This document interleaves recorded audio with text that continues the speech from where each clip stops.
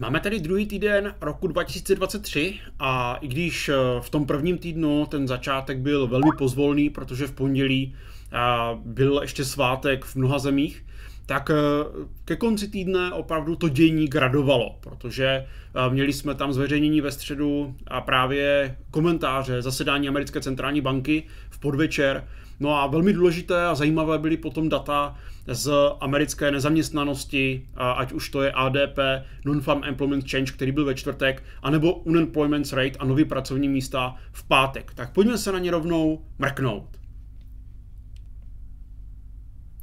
Tak, když se podíváme teda na ty jednotlivé makra, které tam byly minulý týden, tak jak už jsem říkal, pondělí ty šedé, ty šedé boxy reprezentují Bank Holiday, takže právě ty svátky, byly tam akorát eh, některé PMI v Evropě, ale to důležité a to zajímavé dění jako takové bylo právě ve středu, a ten zveřejnění FOMC Meetings Minutes, kde teda americká centrální banka, respektive v tom komentáři, a vlastně vyznělo, že se zas až takové změny v kormidlu nečekají, to znamená, americká eh, centrální banka bude chtít dál zvedat úrokové sazby, ale to, co pomohlo eh, akciovým trhům a nejenom akciovým trhům zajímavě nahoru, tak byly ty čtvrteční čísla právě ADP z nezaměstnanosti, eh, kde bylo vytvořeno mimo zemědělský sektor 235 eh, tisíc míst. No a to, co velmi pozitivně překvapili makra, byly páteční, kde americká nezaměstnanost klesla na 3,5%, a byli jsme svědky i vytvoření nových pracovních míst, daleko více než se čekalo, více jako 10%. A to, co je také velmi důležité pro ty trhy, tak pokles e, růstu mest. Takže takový menší tlak vlastně na tu mzdovou inflaci, což pomohlo právě akcím výrazně nahoru a Evropě ještě více než Americe. Když se podíváme na akciový index S&P 500, který reprezentuje tak tu Ameriku, tak už minulý týden jsem upozorňoval na velmi silnou support úroveň, to znamená úroveň, kde by kupci měli aktivizovat své objednávky a snažit se podržet ten trh tak bylo v oblasti 3800 až 3850 bodů. A tam přesně právě reagovali kupci eh, na tu silnou nákupní aktivitu a vidíme, že těch 3800 byly, eh, tam se ten trh otáčel a 3850 právě byla ta úroveň, kdy docházelo k té akumulaci. To znamená, tam bylo a to velké množství objemu obchodů, to jsou ty kopce, které tam vidíte s tou žlutou čárou, to je vlastně místo, kde bylo zobchodováno největší množství kontraktů. A, a vidíme, že vlastně teď aktuálně právě v ten pátek, kdy došlo k těm pozitivním makrům, tak S&P 500 vlastně ti reakční kupující přešli na stranu iniciačních kupců a vytlačili se do té likvidity na ty aktuální high a momentálně zatím nejde vidět nějaká silná nákupní, teda prodejní reakční aktivita, která by to vracela zpátky, takže se v tomto týdnu otevírá cesta k 3960, kde je zase taková bariéra objemová, ale takovou nejsilnější oblastí rezistencí, tak je kolem 4050. Takže velmi důležité sledovat tu reakci, která nastane na tyhle ty zóny a lze očekávat zatím, že ten trh dál bude právě pokračovat v té sezónnosti, o kterou jsem upozorňoval minulý týden, což je lednový efekt, kde to je přirozeně růstová nebo růstové období pro akcie jako takové. A co bude samozřejmě důležité, tak budou hospodářské výsledky, no, hospodářská sezóna vlastně začíná v pátek těma velkýma akciema, a, takže to, jaký, jakým způsobem ten vývoj tam nastane, a, bude zajímavé. Ale k tomu se dostaneme hned v zápětí. Když se teda podíváme na ty dlouhodobé grafy, jak už říkám, pro nějaké stabilnější, dlouhodobější otočení amerických akcí je důležitá oblast 4050. A, tam, když se dostaneme, dostaneme se přes ní, tak se potom otevře prostor k vybrání likvidity a breaku přes ty 4200. Do té doby momentálně tady máme opatrnou nákupní aktivitu, a která bude hrát do karty pravděpodobně do konce týdne těm krátkodobějším longařům. Když se podíváme na akciový index Nasdaq, tak z pohledu Nasdaqu jsme udělali falešné proražení, neboli false breakout, falešné proražení té oblasti 10800 a vlastně teďka atakujeme několikanásobnou high nebo vrcholy vlastně od prosince, které když ten Nasdaq bude schopen překonat, tak opět se otevře prostor a šance k posílení přes 11400, 11500 a i nějaké dlouhodobější trvalejší posílení jako takové.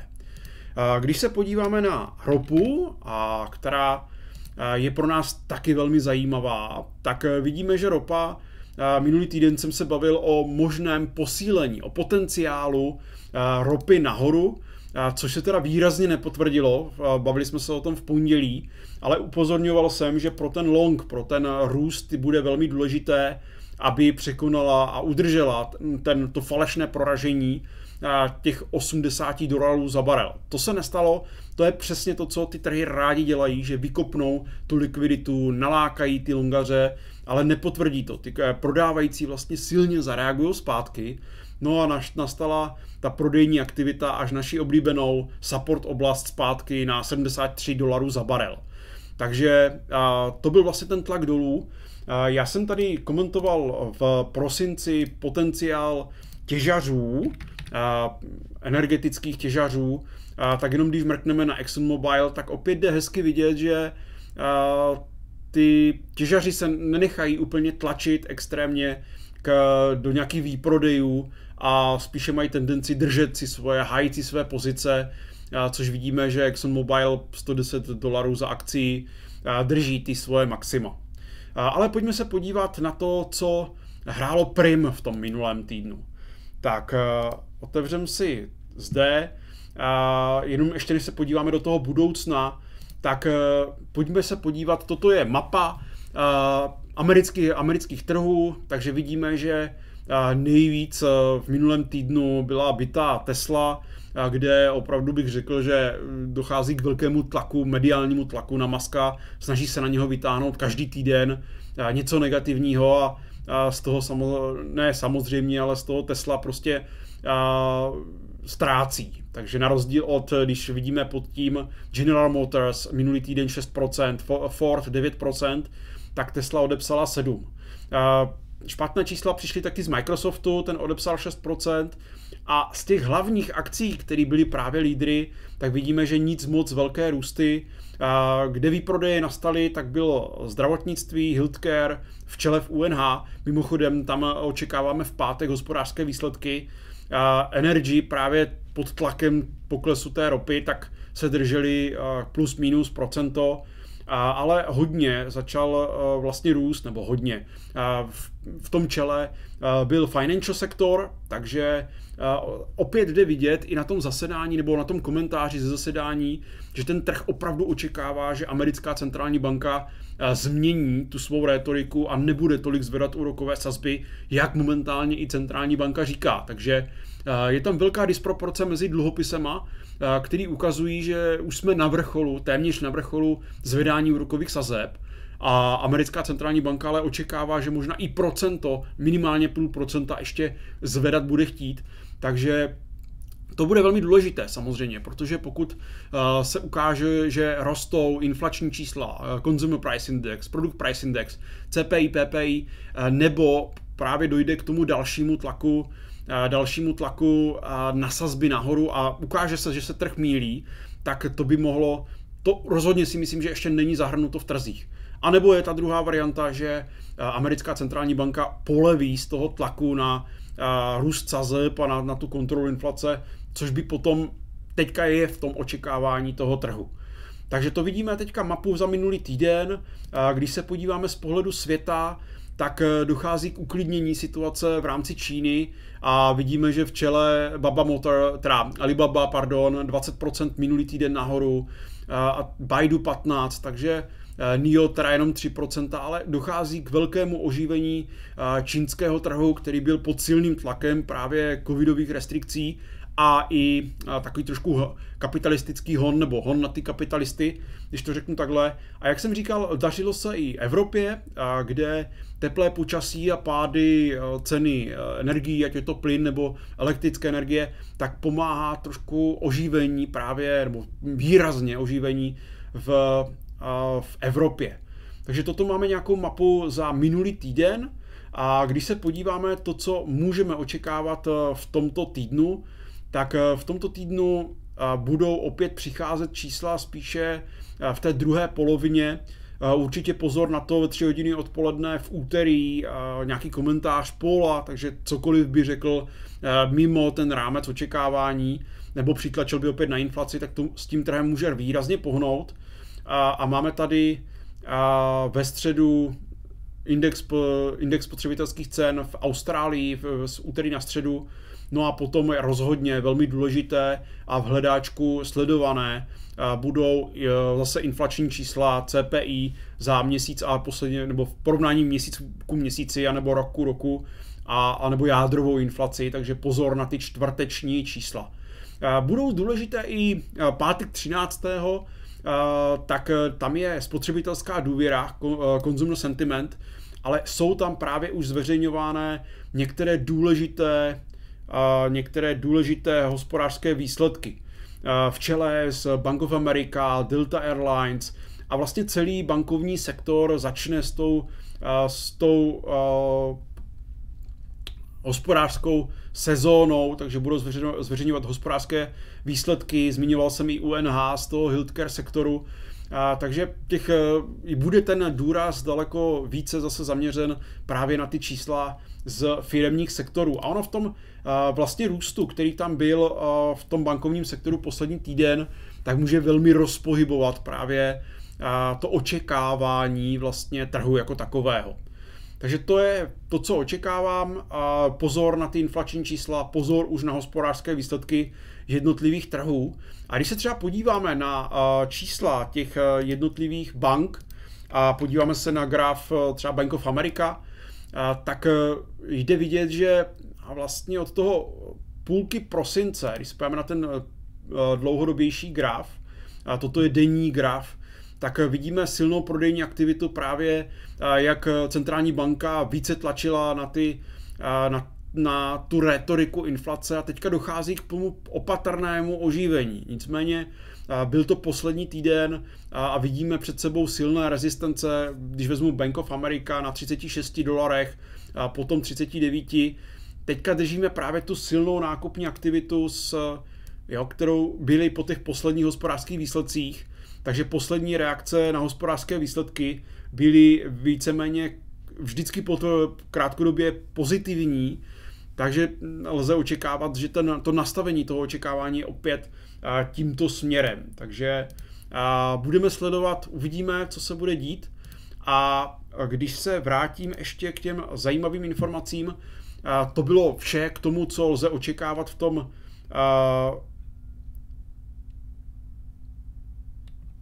té nejbližší době a pojďme na vaše dotazy, které jsou velmi důležité. Tak, co říkáte na elektromobilitu Uh, hodím se pryč, ať vám tam nezavazím. Co říkáte na elektromobilní dceru Volvo? Uh, PSNY má sice dluhy a cena PPB je vysoká, ale koncept mi přijde zajímavý, koukám po ní už delší dobu. Koupit nebo počkat? Půjde cena dolů nebo vystřelí na zisky? Já jsem se trošku rozhodnul, že více v těch vašich odpovědích nebo odpovědí vám na vaše dotazy se budu zaměřovat na graf, protože fundamentálních odborníků na českém trhu je celá řada, ale myslím si, že grafu rozumím velmi, velmi dobře, lépe než někteří ostatní. A tak když se podíváme na PSN Y, je pravda, že k Volvu já mám dobrý vztah, protože je to auto, kterým jezdím i já, ale to není nic, co by mě investičně ovlivňovalo. Když se podíváme, tam byla silná prodejní aktivita v podstatě od toho května až k těm 4 dolarům za akcí. A vidíme právě tu samou situaci, na kterou jsem upozorňoval. A máme před sebou hospodářské výsledky, takže určitě doporučuji se na to zaměřit. A když přijde tahle ta silná nákupní aktivita po hospodářských výsledcích, tak to je oblast, která se stává právě takovou úrovní podpory, kde když tam došlo k nákupům a k pohybu nahoru a ten trh se tam vrátí, tak je tam tendence právě akumulace. A je tady ta situace zatím opatrné nákupní aktivity, a, takže no, oni si myslím, že z pohledu grafu se můžeme opřít. Pokud bychom se dostali k blízkosti 4 dolarů, tak se otevře propast zase někam do pekla, ale do té doby, dokud udržíme teďka tu oblast 4,5, 4,6 dolarů, tak se otevírá prostor k posílení až k 7 dolarů, případně potom někde dál výše. Takže ten náhled opatrně longový momentálně z pohledu grafu tam je. Když půjdeme dál k dotazům, v tomto jinak skvělém videu mi chybí komodity, především zlato, stříbro, tam já vidím aktuálně velký potenciál. Já jsem teda o zlatu o stříbru mluvil v minulém týdnu, ale souhlasím s vámi, protože když se podíváme na tady na tenhle ten úhel pohledu a podíváme se na Exchange Traded Funds za poslední týden, tak právě zlatí těžaři, tady Gold Miners, jsou jedni z těch eh, tahounů, GDX, to jsou vlastně ETF e na Global, na těžaře Young, na ty mladý těžaře, takže posílili za to minulý týden o 10%, pak tady vidíme posílení ETF v rámci Číny, takže to byl jedny z leading, leading oblastí. A když se podíváme na graf právě zlatých těžařů, reprezentovaný třeba tím Gold Miners GDX, tak jsme se dostali z té rotace vlastně listopad, prosinec a pod, to, pod tím tlakem posílení uh, americk, teda, uh, zlata k těm 1870, 1880 dolarů za trojskou unci, to pomáhá tím, i tím těžařům. Takže ano, teďka tlak nahoru a, a vlastně od těch minim z 22 už jsme na 32 a ono to souvisí s oslabením amerického dolaru, a, tak to pomáhá právě zlatu a i to usazení té inflace, tak eh, celkově ano, zlato, zlato stříbro, doporučuji mít v hledáčku a zvážit eh, část, minimálně část zainvestovanosti. Dobrý den, moc děkuji za analýzu NTR, hodně štěstí a úspěchu v novém roce. Josefe, rádo se stalo. Pojďme mrknout dál. Super video, díky za zpětnou vazbu. Zajímají mě ty grafy, například množství indikátorů jsou přehledné. Zajím, zajímalo by mě, které indikátory používáte, hlavně ti horizontální úrovně zelené a červené farby. Jsou to vizualizace, které jsem si nechal naprogramovat a byl jsem osloven programátorem, který, který programoval mi právě tu likviditu, gapy a rozhodli jsme se tyhle ty indikátory dát k dispozici. To znamená za nějaké, nějakou rozumnou cenovku je tady teda i kontakt přímo na toho programátora, kdybyste chtěli něco naprogramovat do TradingView, tak se na něho klidně můžete obrátit. Takže to jsou ty vizualizace. Já vám do, k tomu komentáři dám odkaz právě na, na link, na, kde najdete právě možnost pokud by to pro vás bylo zajímavé se na to podívat. Takže TradingView, vizualizace, price action, které sám používám pro tu analýzu, dám k dispozici co nejdřív k tomu, k vašemu dotazu. Dobrý den, co si myslíte o Netflixu, NFLX, za jakého důvodu roste, když se jedná o službu, která je postradatelná. Ono celkově dochází k oživení právě takových těch rizikovějších aktiv, nicméně ano, vidíme, že po tom, té deziluzi a pádu v Dubnu z 350 až k těm 160, tak poslední ty čísla už byly trošku uspokoj, uspokojivější v rámci toho Netflixu, ale já osobně bych si teďka na Netflix, na akcie Netflixu z pohledu grafu dal pozor, protože ta úroveň právě té silné rezistence, kde došlo k, té, k těm výprodejům v Dubnu, budou fungovat jako taková bariéra a já osobně očekávám, že bude spíše podvýkonnostně na tom Netflix do té doby minimálně do těch hospodářských výsledků, do té earnings a bude bojovat s tou úrovní 340-350 dolarů za akcí. Takže když se zeptáme na ten důvod, proč roste, protože tam prostě byli kupci, ale ten e, impuls, který tam vlastně nastal, tak tady byl výběr likvidity a ten přechod do rotace a právě tady tyhle ty hospodářské výsledky to byly vždycky ty impulzy, které z té rotace tomu pomohly, pomohly směrem nahoru. Takže to, je jeden z těch, to je jeden z těch důvodů. Když se vrátím k dotazům, které tam máme, dobrý dotaz od Ani. Dobrý den, přeju všechno nejlepší do nového roku i vám. Zajímalo by mě, zda už je vhodný čas na nákup eura, když koruna posílila na 24 korun, tedy kromě peněz na dovolenou. Tady důležité je zase poznamenat, já nedělám žádné investiční doporučení. Já jenom dávám nahlédnout toho, jak já přistupuju k trhům, takže to rozhodnutí potom o vaší investici je čistě ve vaší režii. Ale to, co mi vyloženě nevychází, za co se nemůžu pochválit, tak je můj úhel pohledu na euro versus česká koruna, respektive na českou korunu, kde jsem točil video loni, že jsem nakloněn spíše oslabování české koruny, nicméně zviditelnění České republiky v rámci úspěchu zasedání při v Evropské, v Evropské unii a i trošku teďka odklon od těch rizikových aktiv, teda od těch nerizikových aktiv, hodnotových, směrem do těch rizikových, v pozadí ještě k té kontrole České národní banky, tak koruna zatím má tendence vlastně posilovat. A jsou i různé tábory, někteří říkají, hele, ještě je prostor posílení, někteří, včetně mě, říkají, že je větší riziko na oslabení, nějaké dlouhodobější.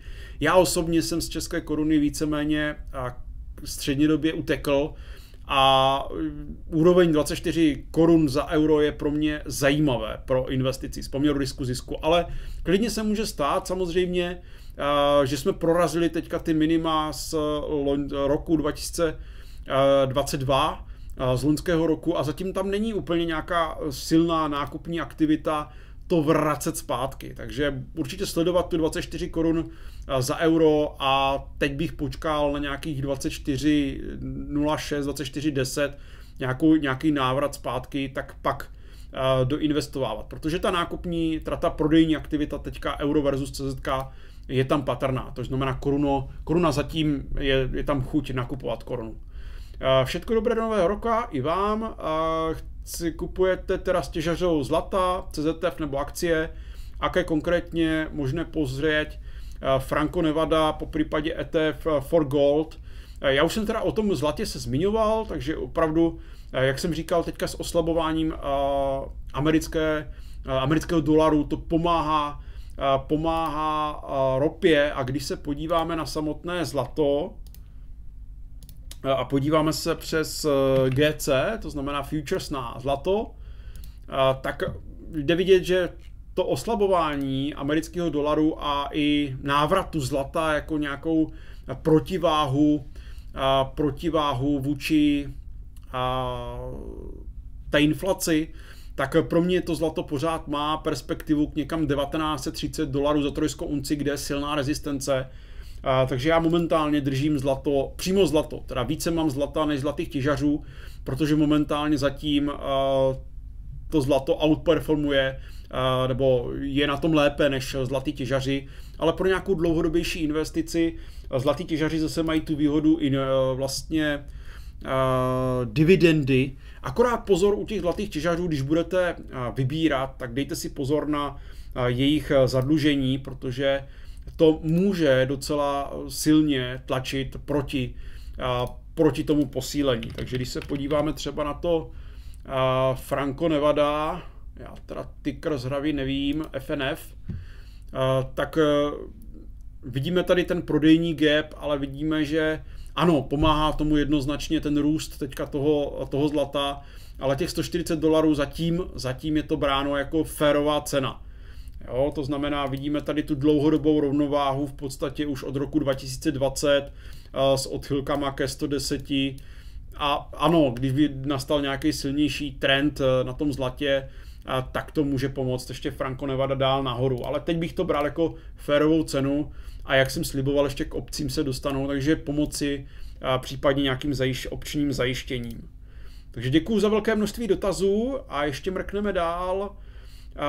Dobrý den prejem, chtěl bych se pozrieť na, na firmu SB2TV a její výhled. Opět eh, těžař drahých kovů, v tomto případě ale i mědi a litia. Takže pojďme se na ní mrknout, myslím si, že to je jeden z posledních dotazů. Takže SBS2TV SBS2TV O těm těžařům, jak říkám, obecně jsem k ním zajímavě nakloněn. Tady vidíme opravdu vyšší high, vyšší low, takže snahu tady otáčet ten trend nahoru.